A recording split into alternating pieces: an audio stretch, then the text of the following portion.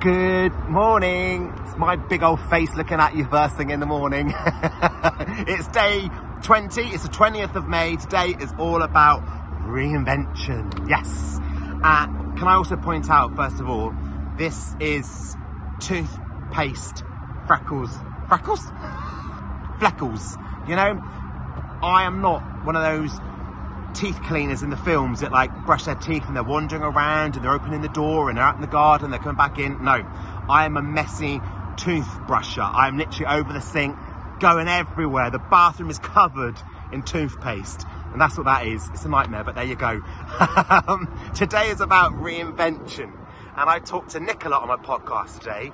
We have a lovely chat all about reinventing ourselves, which is what we did after or during lockdown. We both set up new little businesses, little businesses on the side, things that we've wanted to do for ages and never had the chance because life's busy, stuff gets in the way, and it was the first time we had a chance to just stop and take account, have a look at what's going on, and actually follow our passions, which is why I started Upgrade Your Day to do Upgrade Your May.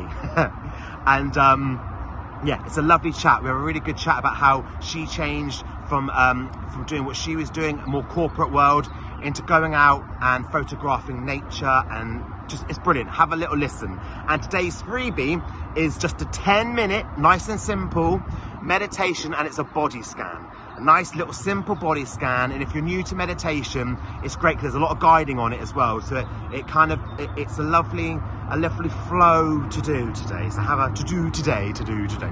Have a little listen.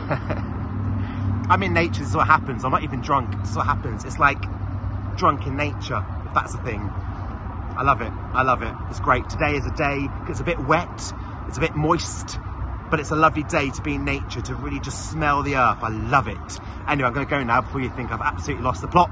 Reinvention. What do you feel you would like to do? If you're gonna reinvent yourself and you're gonna try something new, what would it be for you? Pop it in the comments below. Is there something like I found with mindfulness and meditation and getting out into nature during lockdown? Is there something that you did as well, which you're still doing? Or something that maybe you were doing and you're not anymore and you want to go back to it? Let me know. Let's open up a conversation and have a little 10 minute meditation on me. See you tomorrow. It's a good one tomorrow. Just you wait.